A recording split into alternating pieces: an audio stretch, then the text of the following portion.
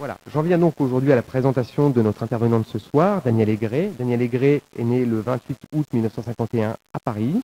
Il est astronome, il travaille à l'Observatoire de Strasbourg, il est chercheur au Centre de données astronomiques de Strasbourg, membre du Comité national de la recherche scientifique. Il est ingénieur de l'école polytechnique et docteur et sciences. Pour son parcours, je mentionnerai un certain nombre de dates. Entre 1987 et 1988, il a été administrateur provisoire de l'Observatoire de Strasbourg. Entre 1987 et 1993, il a été membre nommé du Conseil national des astronomes et physiciens. En 1990, il est devenu astronome à l'Observatoire de Strasbourg. Entre 1993 et 1994, il a été chercheur associé à la NASA au Jet Propulsion Laboratory à Pasadena en Californie. Entre 1995 et 2000, il a été directeur de l'Observatoire de Strasbourg. Il est spécialiste notamment de la gestion des données astrophysiques et des systèmes d'information. Il a contribué à la préparation et à la réalisation du programme spatial Hipparcos de l'Agence spatiale européenne. Et il est l'un des promoteurs du concept d'observatoire virtuel dont il va nous parler ce soir. Il est l'auteur de nombreux articles publiés dans des revues spécialisées nationales et internationales et il a publié des ouvrages spécialisés sur les services d'information en astronomie. Il est vice-président de la Société française d'astronomie et d'astrophysique, SF2A. Voilà. Daniel Aigret, je vous cède donc la parole pour une cinquantaine de minutes, après quoi pourra suivre un débat d'une vingtaine de minutes avec le public. Je vous remercie.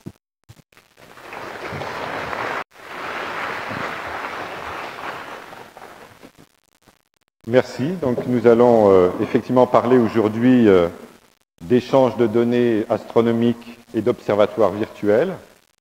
Euh, donc vous allez, je pense, comprendre aujourd'hui comment les, astronomes sont en train d'organiser le très vaste ensemble de données astronomiques dont ils disposent, de façon à, à rendre possible une utilisation euh, complexe euh, par l'ensemble des scientifiques.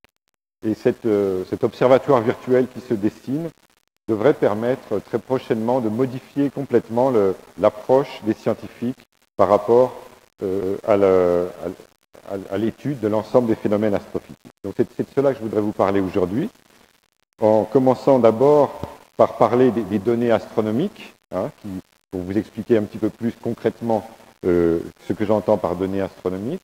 Ensuite, je vous parlerai de, l'organisation telle qu'elle existe actuellement avec des, centres de données. Et puis, nous aborderons, euh, disons, le, un peu la prospective future, comment cet observatoire virtuel euh, est en train de prendre forme. C'est un concept nouveau qui mobilise les, astronomes à l'échelle internationale. Mais d'abord, les données astronomiques. Qu'est-ce que les données astronomiques euh, eh bien, Les données astronomiques, euh, le, problème, disons, euh, pourquoi ce problème se pose actuellement C'est parce que nous sommes entrés dans l'ère des grands observatoires. Qu'est-ce que j'entends par l'ère des grands observatoires? Ben, C'est le fait que le, développement de, de télescopes de plus en plus grands qui ont des surfaces collectrices de plus en plus grandes. On, obtient maintenant des, télescopes, on, utilise maintenant des télescopes comme euh, celui qui est représenté euh, sur cette photo, euh, qui est celui de, l'ESO dans la cordillère des Andes au Chili, le VLT, Very Large Telescope. Donc c'est un ensemble de quatre télescopes de 8 mètres de diamètre, donc qui, ont une surface collectrice équivalente à un télescope unique de 16 mètres de diamètre c'est quelque chose de gigantesque qui n'avait jamais été atteint dans le passé et qui, évidemment, euh, nous ouvre des, fenêtres nouvelles sur l'observation astronomique, mais aussi, euh, euh, disons, nous contraint, disons, à être capable de gérer la production de très grands volumes de données. Donc ça, c'est l'exemple des télescopes au sol, des plus grands télescopes au sol. Il y a aussi des missions spatiales, hein, des, télescopes qui sont mis en orbite sur, des, sur des satellites et qui sont aussi des très gros producteurs d'informations. Pour donner une idée chiffrée, hein, pour ceux qui sont, familiers avec les, données informatiques, euh, des télescopes comme cela euh, génèrent plusieurs téraoctets de données par an. Donc un téraoctet, c'est 1000 milliards d'octets. Hein, disons, sur des ordinateurs comme celui-ci, vous avez euh, fréquemment un, milliard d'octets disponibles. On est, disons, à des, des, échelles évidemment supérieures, très supérieures. Voici une autre image de ces très grands télescopes hein, qui viennent d'être mis en service sur le, sommet d'un volcan de la cordillère des Andes. Alors, données astronomiques, Eh c'est, comme, vous savez, l'astronomie est, d'abord une science d'observation. Hein. les astronomes ne peuvent pas, euh, sauf exception, bien sûr, quand il s'agit du système solaire, mais disons, les astronomes en général ne peuvent pas se déplacer pour observer leur, euh, pour, se rapprocher des, astres qu'ils souhaitent, souhaitent, observer. Donc c'est une science d'observation et on observe donc la lumière qui nous parvient d'astres très distants. Hein. Donc on observe cette lumière. L'observation de cette lumière nous permet de déterminer la position, l'éclat, on, parle de magnitude en astronomie, des astres euh, qui sont visés par les télescopes. Mais cette lumière qui nous, qui nous, cette lumière que nous recevons de, ces astres très lointains, qui nous arrivent sur Terre, elle peut être aussi analysée euh, sous la forme de spectres, c'est-à-dire qu'on analyse la distribution de cette lumière euh, en fonction de la longueur d'onde, et c'est une information extrêmement précieuse euh, qui, va nous parvenir sur la composition chimique les, caractéristiques des phénomènes astrophysiques en œuvre dans ces étoiles ou dans ces galaxies. Plus généralement, on a bien sûr aussi toutes les données sous forme d'images, qui nous permettent de détecter euh, les formes, les mouvements, les structures des, astres euh, à petite échelle ou à grande échelle dans l'univers. Mais quand je parle de données astronomiques, je parle également de, des résultats du traitement de ces données euh, en effet, ces données, nous, arrivent d'abord sous la forme de, comptages euh, de détecteurs électroniques, et très vite, on va essayer de transformer ces comptages en des informations physiques hein, concernant la nature des, astres qu'on est en train d'observer. Et puis ensuite, à partir de ces caractéristiques physiques, on va construire des modèles, développer des interprétations et publier des résultats dans des articles. Voilà la démarche habituelle de production de la, science astronomique. Donc, gérer l'ensemble des, informations produites, par ces grands télescopes, c'est être capable de gérer à la fois les données d'observation, les données traitées, les résultats publiés, la documentation concernant ces systèmes d'observation. Cette photo assez amusante que je projette maintenant illustre l'évolution du, volume de publications dans les journaux astronomiques. Vous avez sur cette photographie euh, Helmut Abt, qui, était l'éditeur du grand journal américain l'Astrophysical Journal, et euh, qui vous illustre que, disons, dans les années 1895, euh, date de la création de ce journal, puis 1915, 1930, 1950, on publie en gros un à deux volumes par an.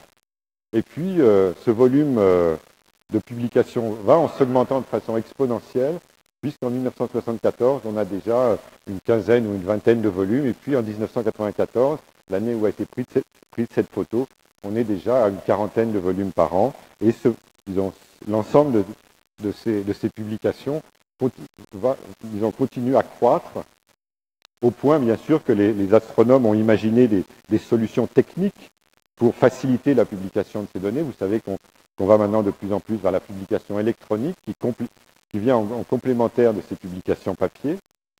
Euh, mais euh, autant le problème reste gérable pour, euh, disons, on sait gérer 50 volumes de papier par an, on ne sait plus par contre gérer facilement l'équivalent pour l'ensemble des données astronomiques produites par les grands télescopes.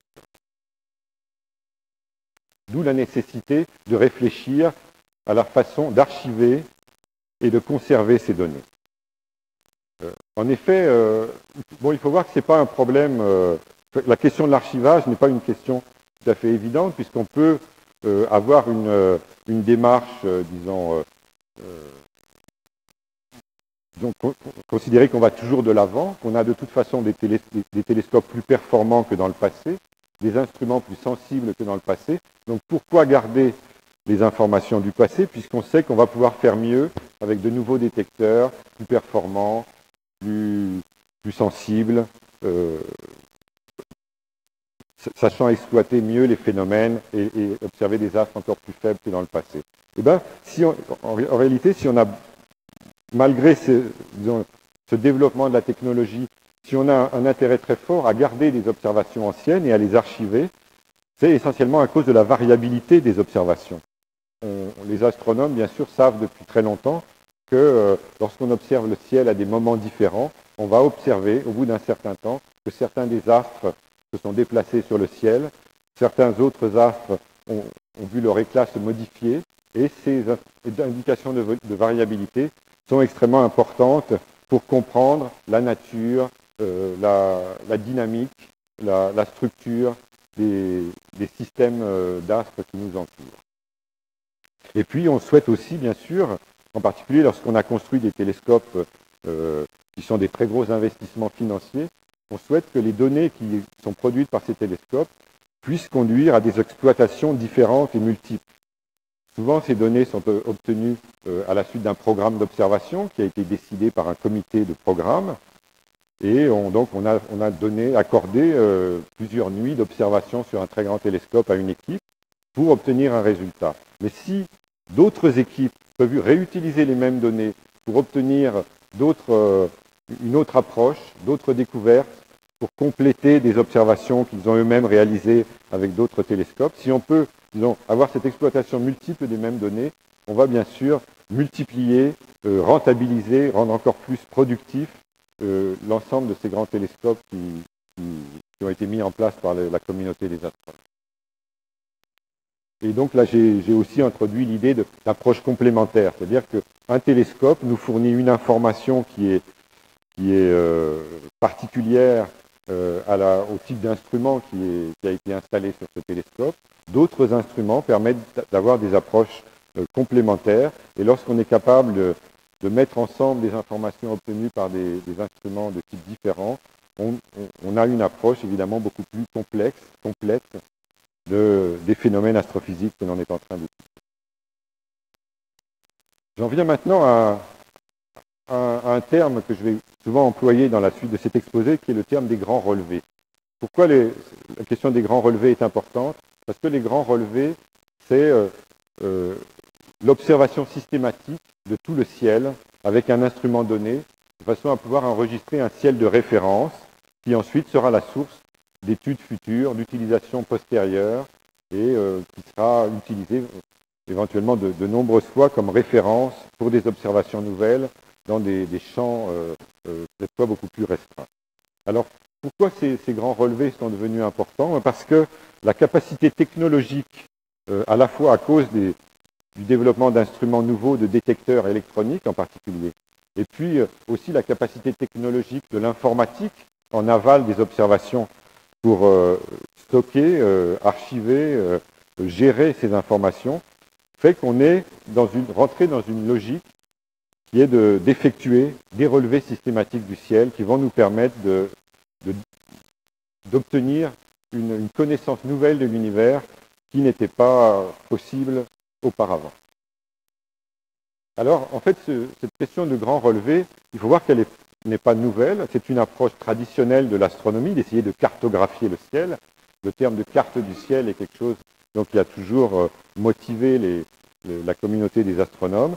Et en particulier, je pense qu'il faut rappeler qu'au au, siècle dernier, enfin au XIXe siècle, à la fin du XIXe siècle, avait été lancée une grande opération de carte du ciel et de catalogue astrographique qui a mobilisé des, ressources importantes de l'astronomie pendant environ un demi-siècle jusqu'à la Deuxième Guerre mondiale.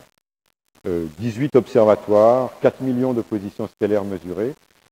L'entreprise était immense et l'entreprise, je dirais, a un petit peu épuisé euh, l'ensemble des, producteurs de ces données. L'entreprise a mis trop longtemps à se réaliser et lorsqu'elle a terminé de se réaliser, disons euh, au milieu du XXe siècle, les préoccupations des astronomes avaient changé. On avait découvert entre-temps les galaxies, l'expansion de l'univers, disons le, la, focalisation sur la cartographie du ciel était, moindre. Et en fait, donc la carte du ciel est un peu, a un petit peu raté son objectif principal, qui était euh, de, révolutionner notre connaissance de l'astronomie, puisque le temps qu'elle se réalise a été tellement long qu'on avait en fait, euh, entre-temps, développé de nouvelles problématiques. Mais le, on n'est plus tout à fait dans cette ère-là maintenant, on est dans une ère nouvelle où la réalisation de cartographie du ciel est beaucoup plus rapide. Euh, à partir des années 50, des années 1950 en particulier, on maîtrisait très bien les techniques de, de clichés photographiques. Donc il y a une époque, disons 1950, 1980, 90, qui a été l'âge d'or de la photographie astronomique, où on a réalisé des grandes cartographies du ciel. Là, sur cette image, vous voyez euh, un cliché euh, euh, obtenu au Mont Palomar. Donc, on a cartographié l'ensemble du ciel sur un cliché comme, cela, qui est une plaque de verre très mince d'environ 30 cm sur 30 cm. On est capable de répertorier environ 500 000 objets, étoiles, galaxies, objets astronomiques divers. Euh, et donc c'est une information précieuse et c'est aussi d'ailleurs, c'était à l'époque d'ailleurs, une capacité de stockage d'informations qui était exceptionnelle puisqu'on était capable sur, une plaque de verre très mince de 30 cm sur 30 cm d'enregistrer un très très grand volume d'informations qui pouvaient être utilisées et réutilisées par des générations d'astronomes. Donc ça c'est l'époque 1950-1985 où on a cartographié le ciel en plusieurs, avec plusieurs grands télescopes dans l'hémisphère nord et dans l'hémisphère sud. Et puis plus récemment, donc à partir des années 80-90, euh, on avait euh, une nouvelle technologie qui permettait de numériser ces clichés photographiques, hein, donc de les, rendre disponibles sous forme informatique, ce qui évidemment rendait, euh, beaucoup plus aisé l'utilisation de, par l'astronome dans son, dans son observatoire ou dans son institut, puisqu'au lieu d'avoir à manipuler des, plaques fragiles dont il avait fallu faire des copies dans les principaux observatoires du monde, on était capable, on est capable depuis, euh, disons, une quinzaine d'années, je dirais, ou une dizaine d'années, on est capable de distribuer ces informations sous forme informatique numérisée grâce à des efforts euh, qui ont été euh, réalisés par un certain nombre d'équipes de par le monde pour numériser ces clichés. Voici par exemple sur, sur cette photographie un exemple d'une machine à mesurer des clichés. Donc c'est une grande, une grande structure de marbre très lourde qui assure la stabilité. Et puis on, pose dessus un cliché de verre et une petite caméra euh, euh, numérique très extrêmement précise euh, va digitaliser avec des, pas de, de quelques microns les, les clichés photographiques. Alors cette euh, nouvelle technique de, numérisation, on est passé de la photographie, disons, à la numérisation de la photographie. Donc cette nouvelle technique a généré euh, euh, ce qu'on appelle en, termes astronomiques des catalogues, donc des listes d'objets détectés sur ces clichés. et donc les grands relevés du ciel donc, fournissaient à la fois des collections d'images, des atlas d'images, et puis des catalogues de sources qui avaient été extraites par des programmes euh, automatique, bien entendu. Ce n'était pas à l'œil euh, euh, les uns après les autres. On, on, avait, commencé par faire cela, mais ensuite on, a été capable d'automatiser ces processus. Et donc on, est capable maintenant, avec les, instruments et les techniques informatiques actuelles, d'extraire environ 500 millions de sources à, partir de ces clichés photographiques réalisés sur tout le ciel. Et puis on, est capable aussi évidemment de, en, parallèle de faire des catalogues d'objets plus particuliers, euh, qui sont des objets étendus, qui ont des structures, qui ont des formes, euh, sur lesquelles on souhaite ensuite revenir euh, de façon en, utilisant non, pas seulement la position et l'éclat, mais aussi l'ensemble des informations de forme et de morphologie que peut nous fournir l'atlas photographique.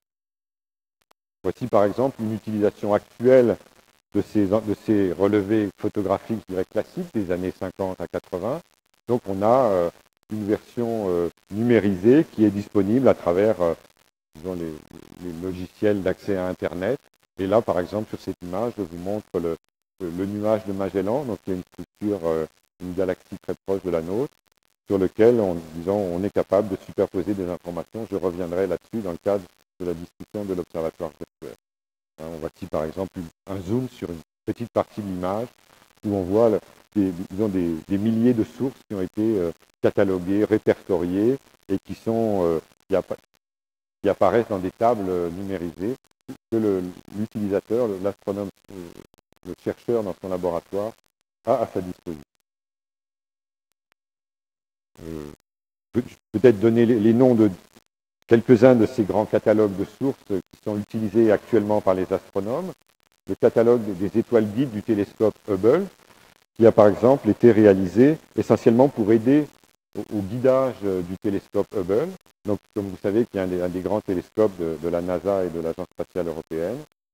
Et ce catalogue de vingtaine de millions d'objets permet d'aider au pointage et au repérage du télescope.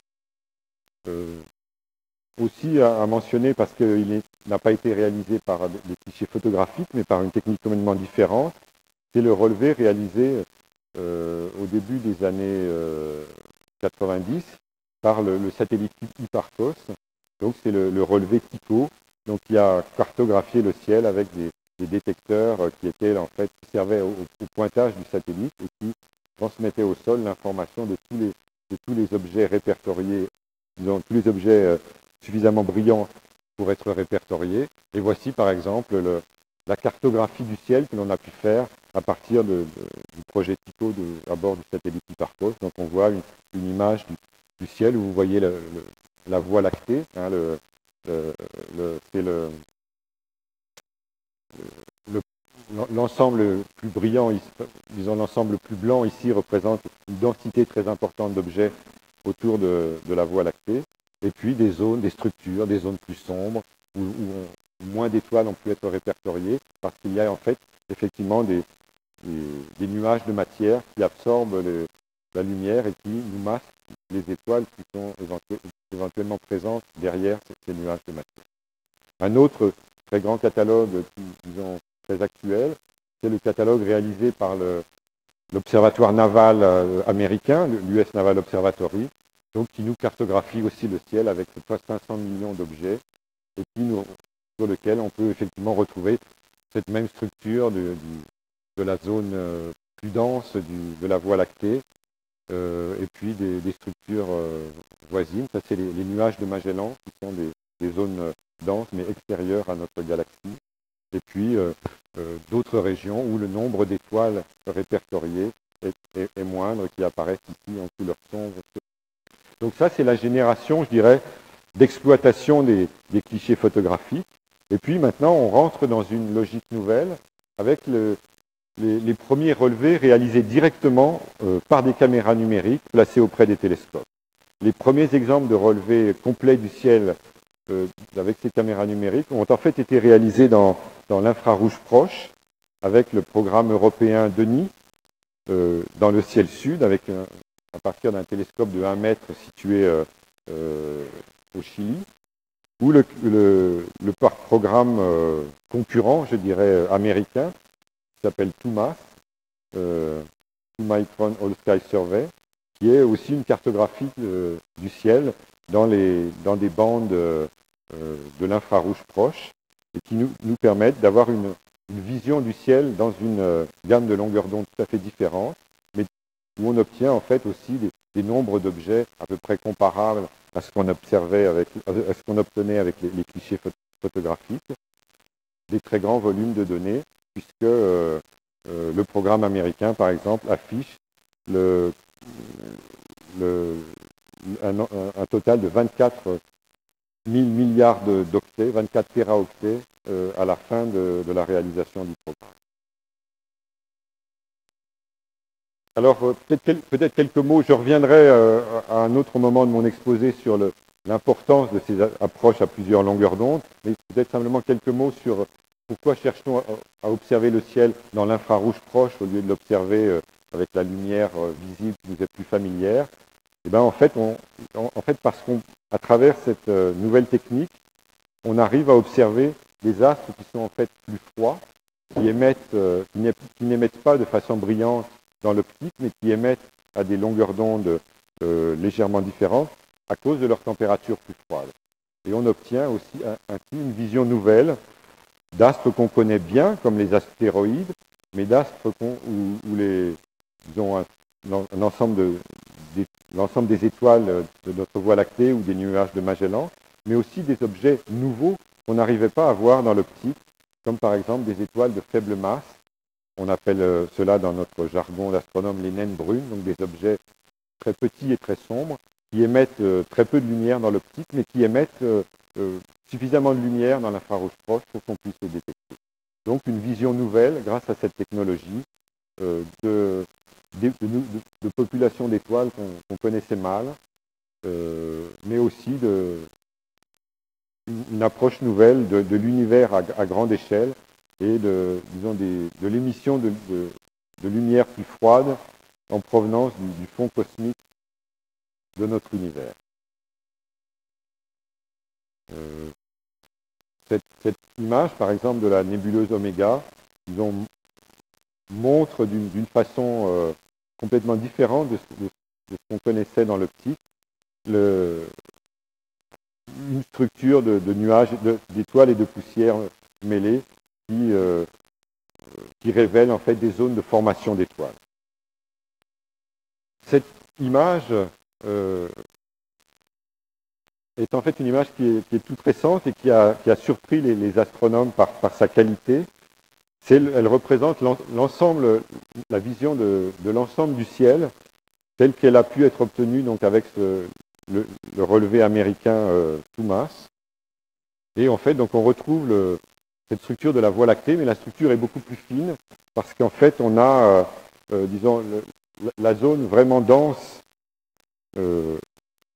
est en fait celle des étoiles de notre Voie lactée. les, zones qui étaient masquées par la poussière dans les, clichés en optique sont cette fois euh, beaucoup plus, beaucoup plus visibles parce qu'on observe en fait des, astres, euh, on observe les astres au-delà de leur cocon de poussière. Et donc on a une, espèce d'image beaucoup plus, beaucoup plus épurée de notre galaxie. Euh, si vous, sais si vous voyez sur cette image aussi une petite traînée autour du, noyau de la galaxie. Cette petite traînée trace en fait une, une galaxie satellite de la nôtre qu'on a découvert récemment et qu'on n'arrivait pas à voir euh, euh, dans l'optique car, car, elle est située pratiquement derrière le, centre de notre galaxie.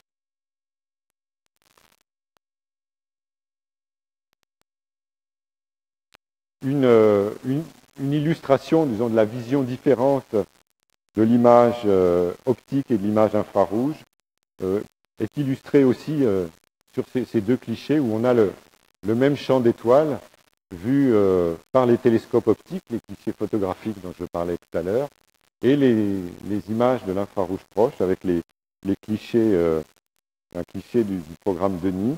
Et en fait, ce, qui frappe tout de suite, c'est que se révèle un grand nombre d'étoiles rouges faibles qui ne sont pas visibles dans l'optique, dans qui se révèlent avec euh, des détecteurs sensibles à d'autres longueurs d'onde.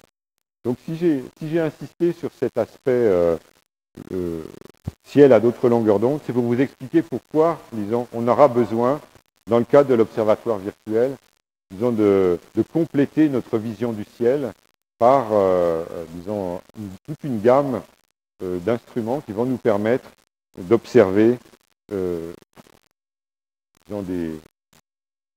avec des, détecteurs qui révèlent euh, l'émission de, de lumière en, provenance de différentes euh, régions du spectre de lumière, donc de différentes longueurs d'onde. Euh, bon, je vais peut-être passer un peu vite sur le, les, autres, les autres projets de, de, cartographie du ciel. Il y a un, projet très important actuellement qui se met en place au niveau américain euh, celui de la fondation Sloan, d'un relevé digital du ciel. Donc cette fois, on est de nouveau en optique, mais avec des, détecteurs CCD, donc les, détecteurs qui nous ont été rendus familiers par les caméras numériques. Et euh, ces grands relevés du ciel vont nous permettre à la fois de, cartographier l'ensemble du ciel, mais aussi de rechercher des objets euh, qui sont très rares. Et le fait de cartographier un très grand nombre d'objets, 500 millions d'objets par exemple, va permettre de trouver parmi ces 500 millions d'objets les quelques objets, la petite dizaine, la petite vingtaine d'objets qui ont des caractéristiques très très spécifiques. Un exemple euh, dont on peut citer pour le, relevé Sloan dont je parlais, c'est la capacité de découvrir des quasars, donc qui sont ces objets extrêmement lumineux qui sont aux confins de notre univers, qui sont à très très grande distance, et qu'on peut repérer euh, en observant leurs couleurs très spécifiques.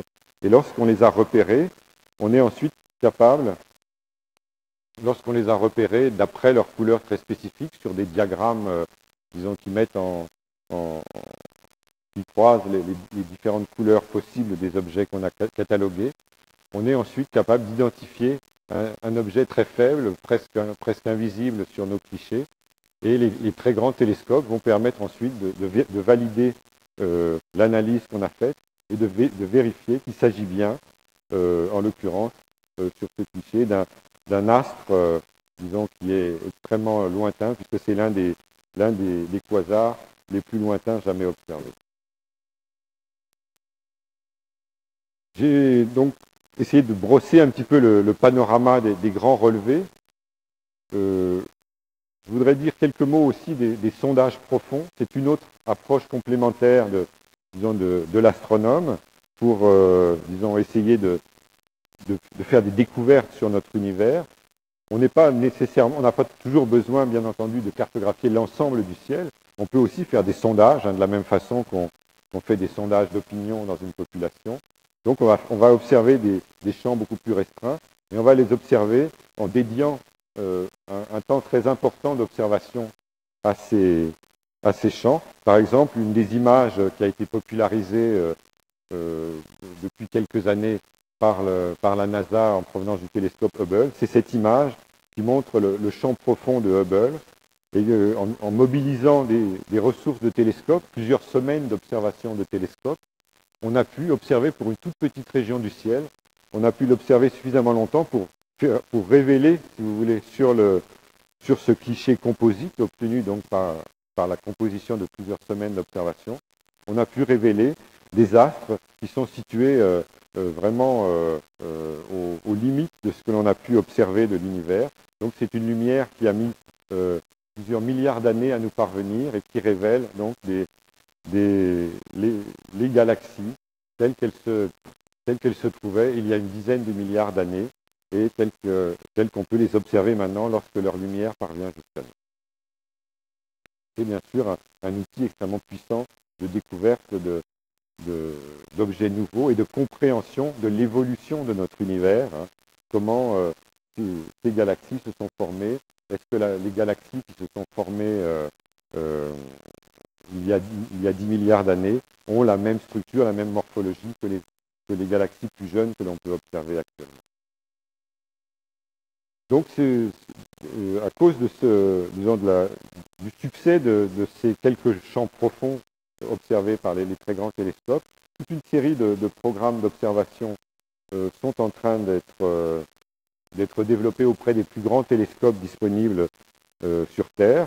Le télescope franco-canadien hawaïen euh, à Hawaï de 3,60 m, certains des télescopes de l'ESO, des nouveaux télescopes euh, euh, en provenance des, universités anglaises qui sont en train de construire un, nouveau télescope de 4 mètres, la mobilisation des, télescopes anglo-australiens, tous, ces, grands projets ont, un but commun, faire des, sondages en utilisant des caméras à grand champ, des sondages qui vont nous permettre de cartographier l'univers à, très grande échelle et donc de, nous apprendre quelque chose sur la cosmologie, hein, donc la formation, l'évolution des galaxies, la formation de notre univers. Cette image, par exemple, illustre euh, le, relevé euh, australien euh, qui va permettre d'observer des galaxies sur toute une, sur une zone très importante du ciel et donc de comprendre qu'il y a des structures à grande échelle qui révèlent des filaments, des bulles, des, des structures euh, euh, plates ou complexes ou, à trois dimensions qui pourraient nous révéler comment s'est formé l'univers et comment il a évolué depuis sa création.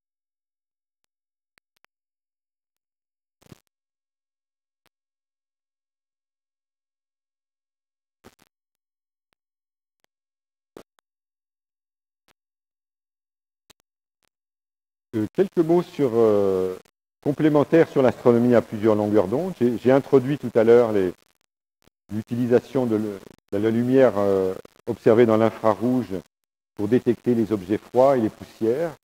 donc de la même façon, les, astronomes ont développé depuis une trentaine d'années, je dirais, toute une gamme de détecteurs permettant d'observer dans, les, longueurs d'onde qui,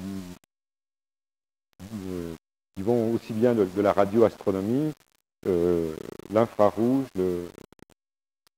l'ultraviolet, les, rayons X, les rayons gamma. Euh, les rayons X et les rayons gamma, par exemple, nous révèlent des objets compacts, des, phénomènes euh, cataclysmiques qui, se produisent dans, certains astres et qui produisent de, très grandes quantités d'énergie qui, nous sont accessibles à travers l'observation des rayons. L'ensemble de ces, de ces possibilités, de ces nouvelles techniques, euh, suppose en fait très souvent euh, l'utilisation de, télescopes mis en, orbite dans l'espace, puisque l'atmosphère filtre euh, le rayonnement euh, ultraviolet, par exemple, qui nous, vient de, l'univers. Donc, pour observer le rayonnement ultraviolet produit par les astres, on est obligé soit d'envoyer des, ballons dans la très haute atmosphère, soit plus, simplement, je dirais, bien que que les, projets soient, très lourds au point de vue financier, envoyer des télescopes au-dessus de l'atmosphère, en orbite autour de la Terre, pour observer ces, nouveaux rayonnements. L'ensemble de ces missions, bien entendu, euh, euh, nous apporte des visions complémentaires de l'univers et euh, donc s'appuie sur un certain nombre de programmes spatiaux qui sont des entreprises internationales mobilisant l'Agence spatiale européenne, la NASA, euh, les agences japonaises, etc. Certains, des noms peuvent, vous, avez pu en, entendre parler dans, dans la presse euh, pour leurs résultats récents. Je pense par exemple pour l'observation des rayons X, le satellite XMM qui est représenté ici sur cette photo, qui, est en orbite, euh, qui a été lancé par l'Agence spatiale européenne par une fusée Ariane 5 et qui est, en orbite autour de notre Terre. Euh, le satellite Chandra, qui est aussi euh, en, opération actuellement et qui est piloté par la NASA, le projet d'observation des, rayons gamma avec intégrale, dont le lancement est prévu prochainement. un autre lancement prévu, celui du satellite Galex pour observer dans l'ultraviolet. Pour ce qui concerne l'infrarouge, le satellite ISO de l'Agence spatiale européenne nous a appris énormément de choses sur l'univers dans l'infrarouge lointain et un nouveau projet américain qui s'appelle IRTS, euh, est en cours de, lancement euh, du côté de l'agence euh, américaine. Et puis d'autres projets concernent le, rayonnement submillimétrique, et donc des, rayonnements qui nous révèlent en particulier le, le, fond de, lumière émis par l'univers cosmologique à très grande échelle qui, qui, est la trace en fait de la création de notre univers. Et là, euh, le satellite Mars, par exemple, vient d'être lancé il y a quelques semaines par l'Agence spatiale européenne, par l'agence américaine, la NASA, et l'Agence spatiale européenne a un projet donc, de satellite qui s'appelle SAM, qui est un très gros projet dans lequel les équipes françaises sont, sont équipes Deuxième partie de, cet exposé, euh, comment les astronomes ont-ils donc euh, structurer ces archives et ces bases de données produites par euh, l'ensemble de, ces, grands télescopes? je, voudrais donner l'exemple du, centre de données de Strasbourg, qui est euh, un, centre de données de référence, et donc c'est l'équipe dans laquelle je travaille. Il se trouve que le centre de données euh, qui a été créé en 1972 grâce à la clairvoyance de, Jean Delay, qui était responsable de l'astronomie française à l'époque, qui est récemment décédé, je voudrais lui rendre hommage ce soir. Donc grâce à, la clairvoyance des astronomes de l'époque, euh, on a pensé qu'il fallait euh, un centre de données pour commencer à, collecter les informations digitalisées. À l'époque, 1972, euh, l'informatique, c'est les cartes perforées, des rubans perforés. On est bien sûr euh, disons, à la préhistoire de l'informatique telle que vous la connaissez actuellement. Mais c'est vrai que le, fait que ce, centre de données ait été euh, créé aussi, aussitôt a fait que des équipes ont commencé à réfléchir, à structurer les informations, à préparer la réflexion sur les coopérations internationales. Et on se trouve, euh, presque 30 ans après maintenant, avec une, situation où, la réflexion qui a été menée au sein de cette équipe et au sein des, autres équipes au niveau international qui ont travaillé sur la structuration des données fait qu'on pense être capable maintenant de répondre aux défis qui nous sont posés par l'explosion de la quantité d'informations disponibles. Euh, et pour cela, je voudrais introduire un, terme nouveau, qui n'est pas, nouveau, euh, qui existe déjà euh, en français, le terme d'interopérabilité, mais c'est un terme un petit peu compliqué, donc je voudrais essayer d'expliquer pourquoi l'interopérabilité est au cœur de, la problématique de l'observatoire virtuel tel que je vais l'exposer tout à l'heure.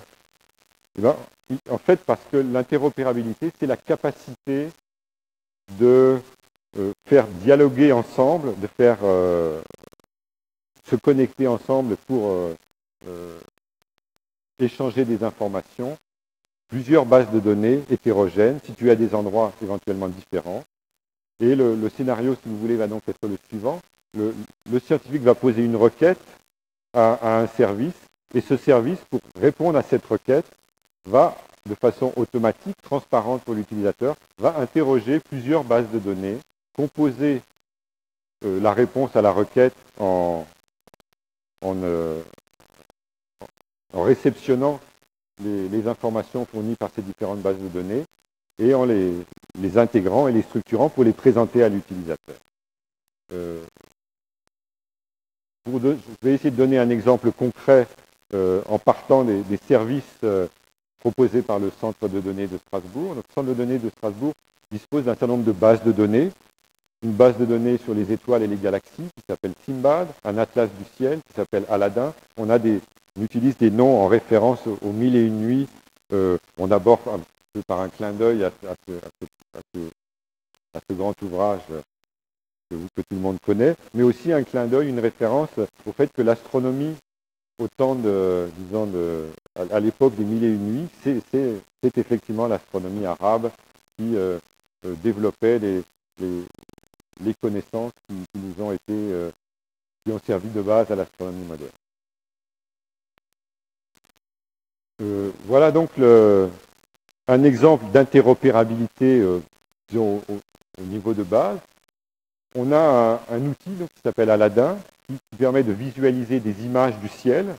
Donc on va interroger une base de données d'images du ciel.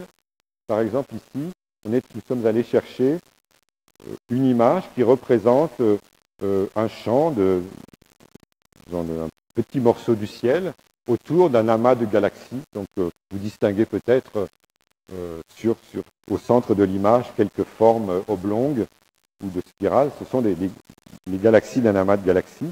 Et puis sur cette image, nous sommes capables de superposer des informations à l'aide de symboles de couleurs qui sont en fait euh, des informations en provenance d'autres bases de données. Donc une base de données des, catalogues euh, réalisés à différentes longueurs d'onde par différents instruments.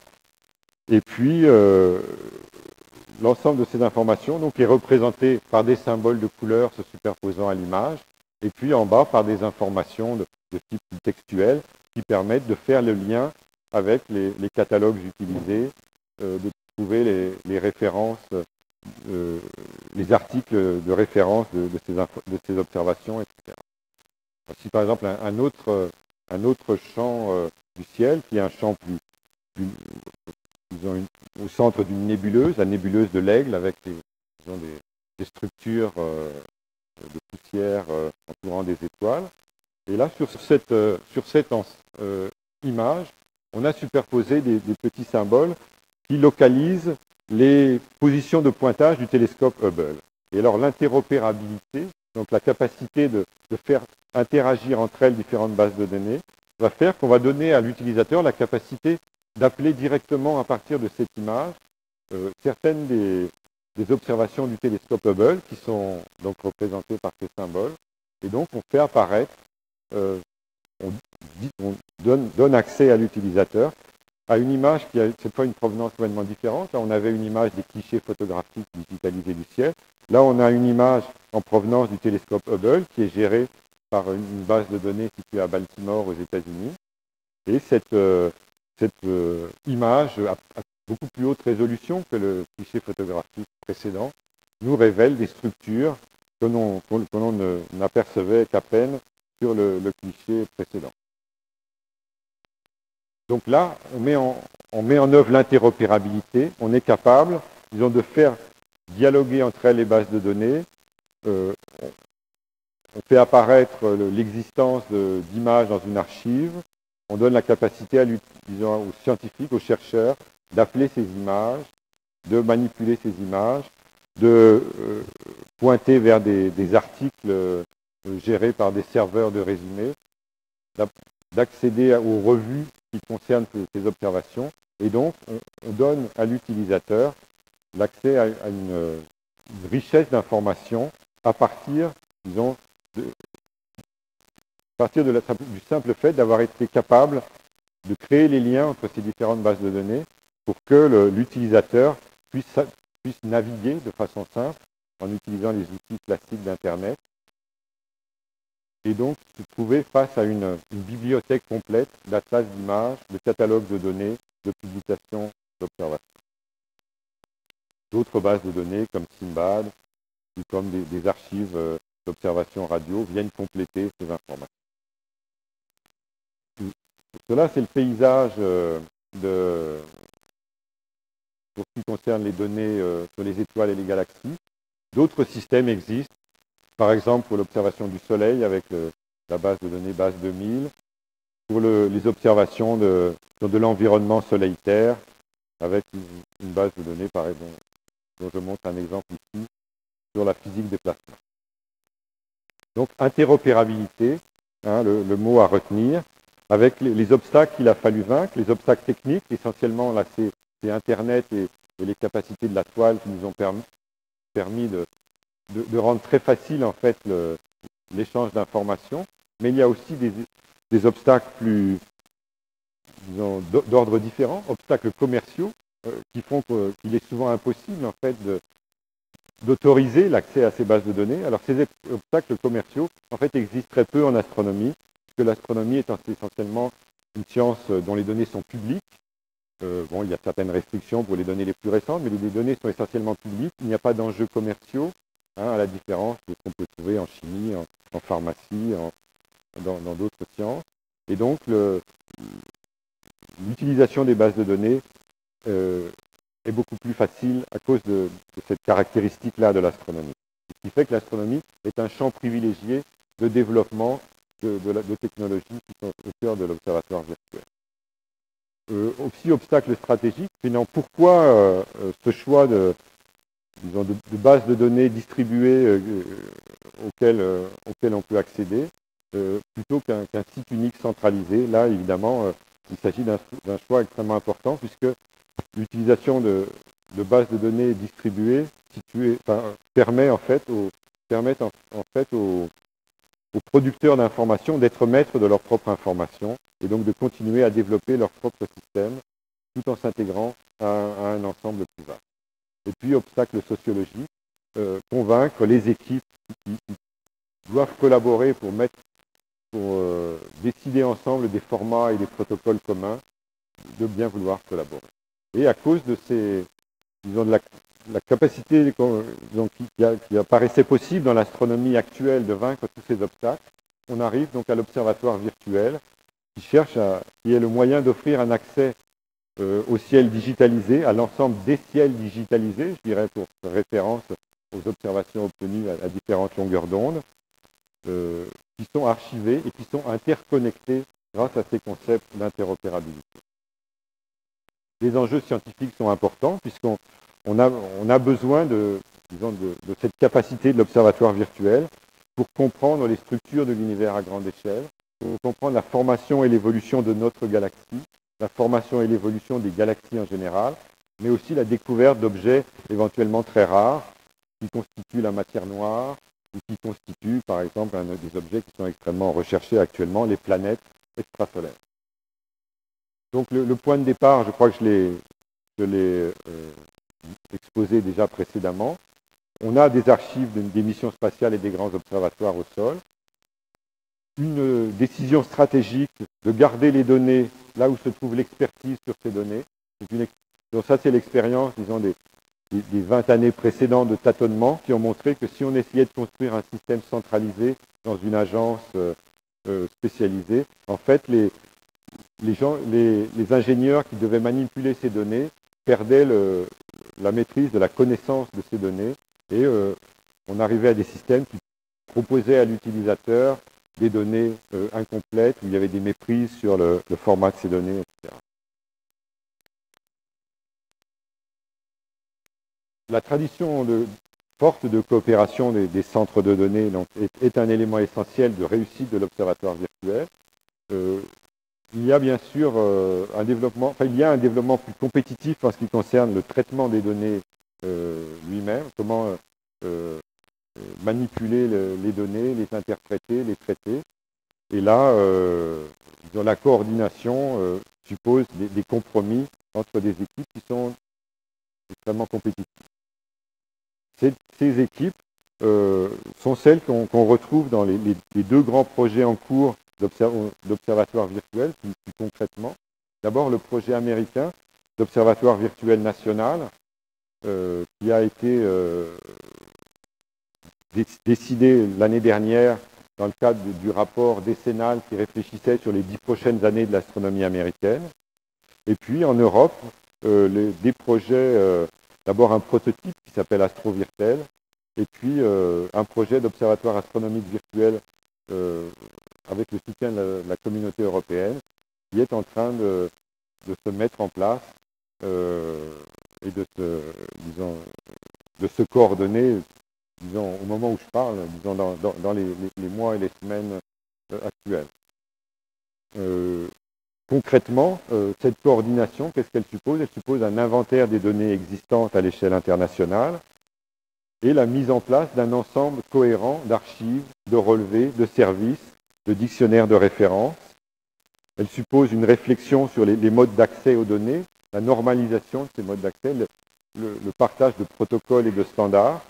Et puis, l'observatoire virtuel, c'est aussi une composante éducative et culturelle Hein, c'est la réflexion sur la façon de, se proposer à l'utilisateur euh, final, qui peut être un chercheur dans un observatoire astronomique, mais qui peut être aussi un étudiant ou un lycéen, de lui proposer l'accès à des images, à des données qui lui, apprennent quelque chose sur l'univers. Là, je, reprojette cette image de, la nébuleuse de l'aigle, donc une image en couleur qui a été popularisée dans les médias, hein, qui, représente des, zones de formation d'étoiles euh, entourés de cocons de poussière, et qui nous apprennent évidemment, ne serait-ce que par leur effet visuel, déjà quelque chose sur l'astronomie telle qu'elle se développe actuellement.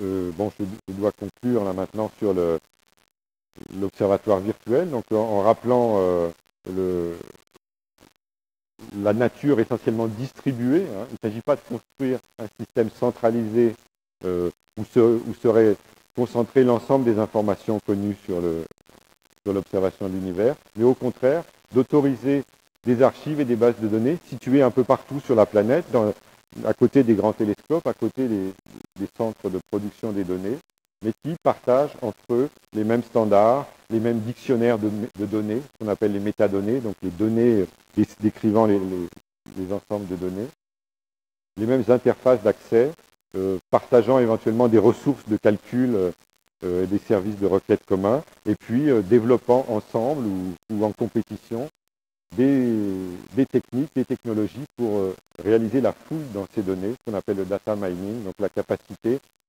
disons, d'aller déterrer dans un très grand, dans un très grand monceau de données la perle rare, la pépite d'or qui va permettre de réaliser une vraie découverte. Euh, donc, peut-être pour illustrer cette fouille de données, euh, une image, une dernière image du ciel, mais cette fois une image qui n'est pas une image réalisée à partir d'observations euh, de champs du ciel, mais c'est une image qui, montre simplement la densité de données existantes dans une région du ciel donnée. Donc, on a pris, si on prend une petite région du ciel, on va pouvoir mesurer le nombre de catalogues, de tables de données, d'articles qui ont produit des informations sur, cette région du ciel. Et on a une, du coup une carte du ciel qui représente la mine de données disponible. dans lequel on, voit aussi la Voie lactée, là, qui est ici représentée. On, est, dans les coordonnées équatoriales, donc pour lesquelles l'hémisphère nord et l'hémisphère sud sont ceux de notre Terre. Donc la Voie lactée est ici représentée sous forme de courbe. Et puis certaines régions ont été très étudiées pour différentes raisons. Euh, quelquefois des, petits champs particuliers parce qu'on a fait des sondages profonds. Et donc cette mine de données, elle est à la disposition des astronomes euh, grâce aux, techniques qui sont en train d'être mises en place avec l'observatoire virtuel. Voilà, donc le, en, conclusion, donc ces, ces développements actuels sur l'observatoire virtuel visent essentiellement à permettre une nouvelle approche de l'astrophysique, hein, mieux comprendre l'univers dans ses différentes composantes, ses différentes échelles, ses différentes longueurs d'onde, et organiser, réaliser grâce à, disons, aux techniques de l'informatique euh, moderne, réaliser un nouvel environnement de travail pour les scientifiques qui mettent à la disposition des scientifiques sur leur, euh, sur leur ordinateur se trouvant sur le bureau l'ensemble des ressources d'observation, des observations astronomiques du passé et du présent. Voilà cette image finale représente le, télescope du mont, Paranal que je montrais au début euh, et qui euh, est l'observatoire réel qui nous permet de créer cet observatoire.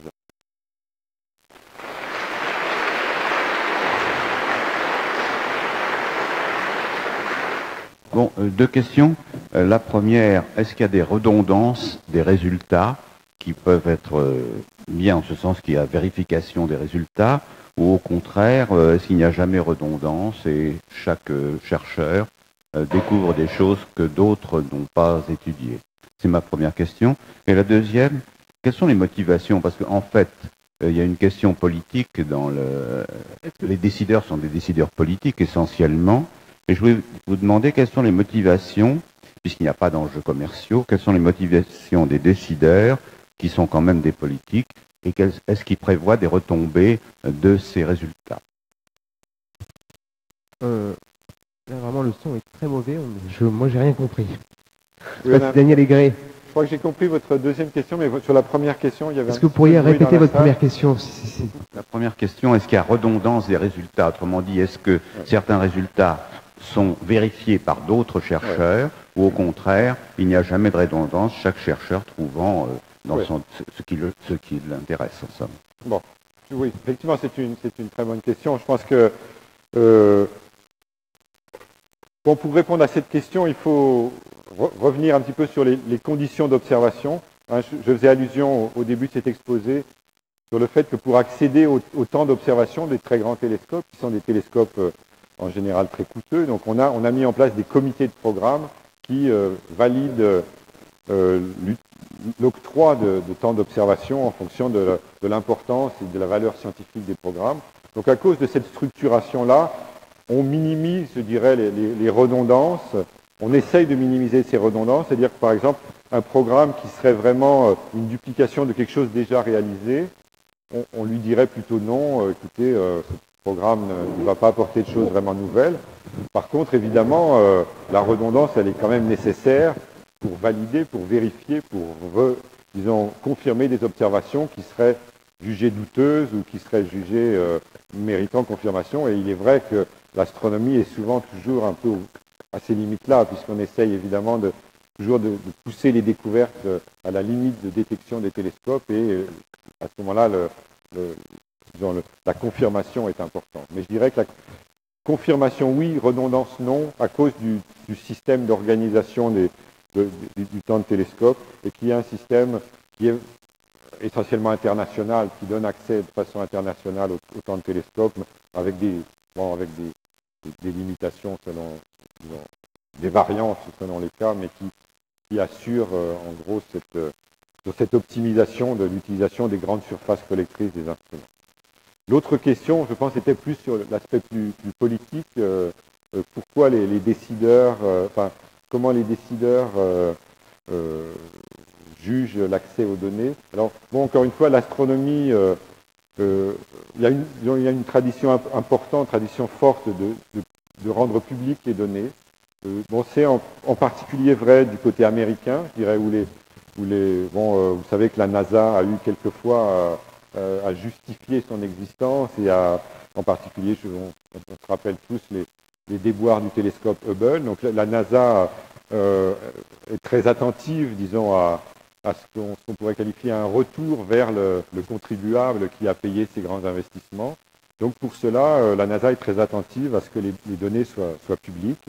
Et je pense que cette, même démarche est suivie par les grandes agences européennes, les agences nationales, avec le commentaire, si vous voulez, que plus les données sont, utilisées par d'autres personnes, plus les, confirmations, les, validations de données, la, compétition euh, productrice est, positive et possible.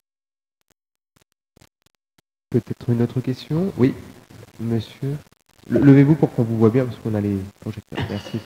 Je voulais demander pourquoi est-ce que le ciel est toujours représenté un peu sous la forme d'une citrouille, alors que quand on va au planétarium, quand on se couche par exemple sur le dos et qu'on voit le ciel, on, voit plutôt une demi-sphère que euh, la forme toujours ovale qu'on voit sur ces images.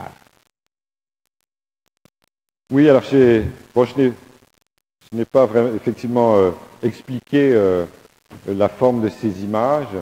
En fait, ces images permettent en fait de, représenter la sphère complète du ciel, hein, puisqu'on a, on a collecté des informations sur l'ensemble du ciel. Lorsqu'on veut essayer de les montrer de façon globale, bon, on a toujours la difficulté de projeter la sphère sur un plan.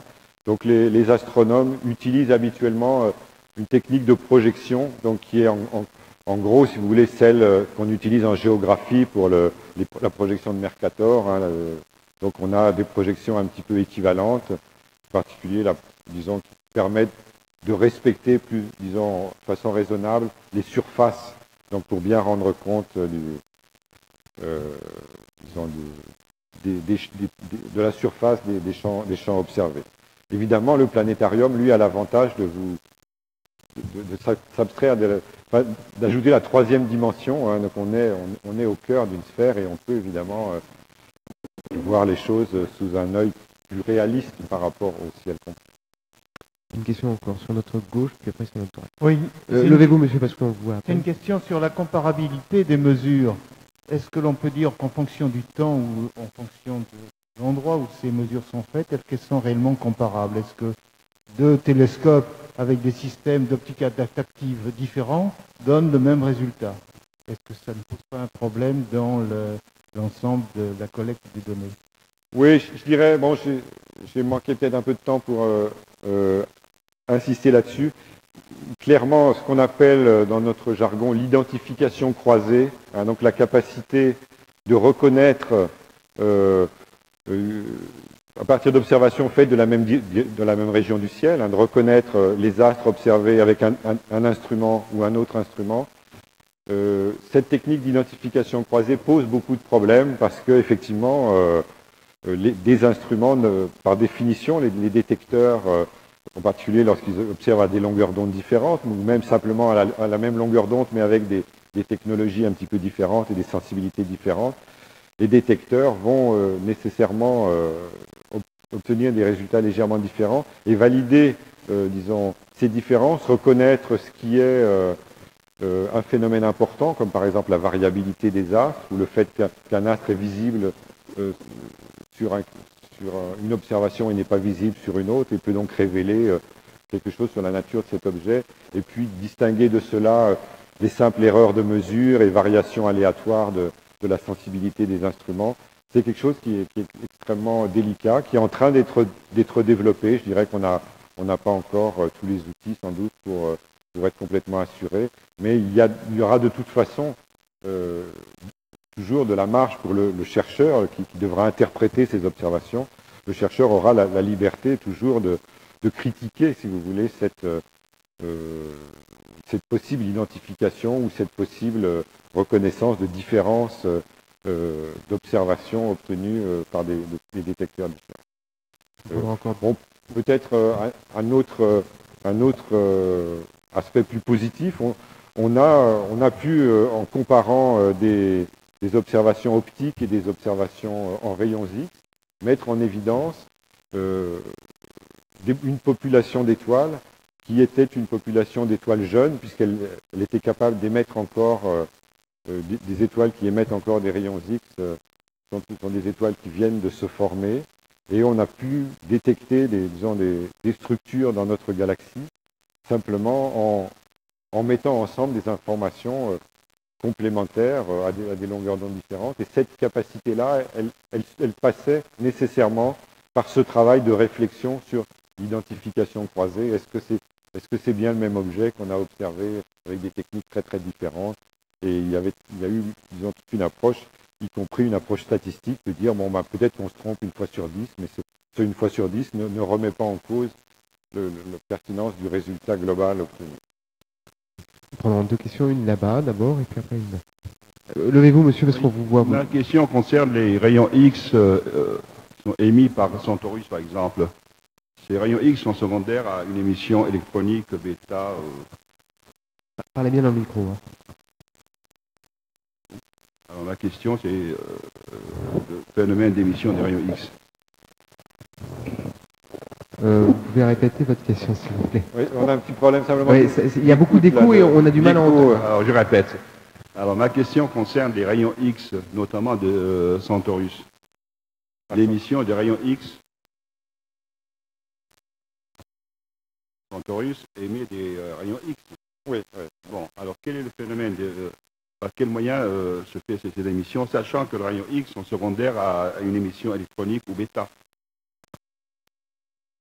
Euh, oh, disons, je crois qu'on a. J'aurais peut-être un peu de mal à rentrer dans, le, détail de, ces observations. Je dirais en gros, euh, euh, l'exemple que j'ai montré avec les images de, Centaurus, on, a, on est dans, dans, le cas où il y a un système avec ce qu'on appelle un disque d'accrétion, c'est-à-dire de la matière qui est attirée par un objet très massif. et donc on a un mouvement extrêmement violent, si vous voulez, en, termes dynamiques et en termes de production d'énergie. Et c'est ce mouvement extrêmement violent qui, produit les, rayons X. Alors ça, c'est l'interprétation, évidemment, qu'on est capable de faire parce qu'on a, euh, disons, euh, mis ensemble des modèles d'interprétation, des observations à longueur d'onde différentes. ces modèles sont, critiquables, sont critiqués. Il y a des, il y a des approches ensuite il n'est pas exclu qu'on revienne euh, dix ans après euh, sur, de telles interprétations en disant ah, mais non, on a découvert qu'il y avait euh, un autre astre, disons, dans la même direction du ciel, qui était en fait le vrai auteur, le vrai responsable de cette émission d'énergie. Donc là, je ne rentre pas dans le détail de cette observation particulière que je ne saurais pas commenter comme ça. Une toute dernière question, monsieur. Levez-vous, s'il vous plaît.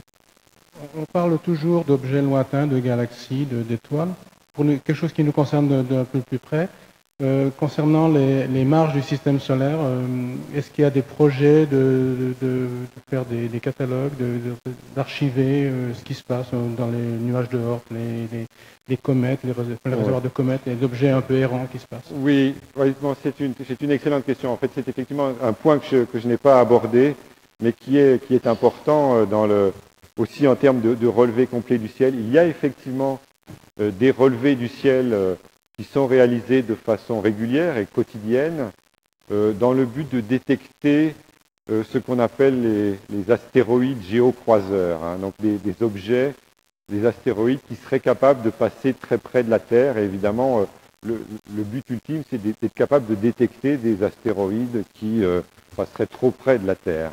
Hein. Donc il y a effectivement des systèmes d'observation systématique du ciel euh, en général, ces systèmes euh, euh, qui sont de très gros producteurs de données également et qui ont bénéficié de, technologies militaires souvent, en général, ces programmes n'archivaient pas leurs données à cause de leur très grand volume, mais les traitaient directement hein, la journée suivant la nuit d'observation, si vous voulez, pour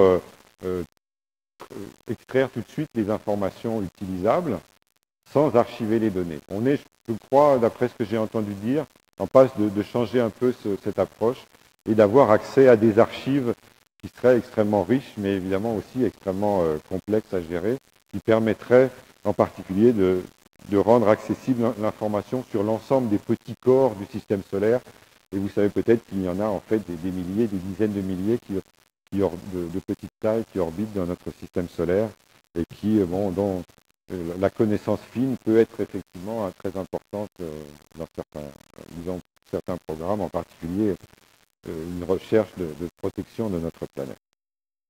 Daniel Aigret, je vous remercie.